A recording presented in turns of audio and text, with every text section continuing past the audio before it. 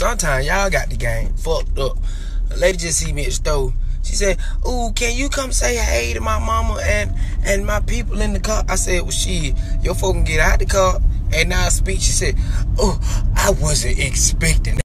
She said, "Ooh, I wasn't expecting that." I said, "What the, what the hell was you expecting? For me to go out there, get in the car, say hey, jump in the car?" You act like I said no. I said, "Tell them get out the car." I speak. You want me to go in? The, you want me to go in the car?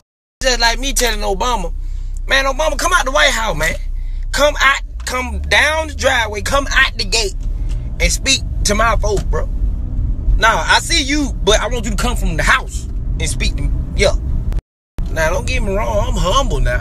I'm gonna speak. I ain't gonna be an ass. But damn, now, nigga, we human people. Y'all, sometimes y'all be, nigga be like, dude, hey, jumping jacks, nigga, and turn around. You, you're funny. Anywho, I had a long ass day. you know. But we good, you know, God is good. We still gonna make a way, you know. So I'm about to go see what the falcon talking about. Fuck that. Listen. Then she wanted me. We was in the store, y'all. She said she wanted me to come out the store to go to her. For, she at pump nine. The door is in front of pump too. Like. Damn.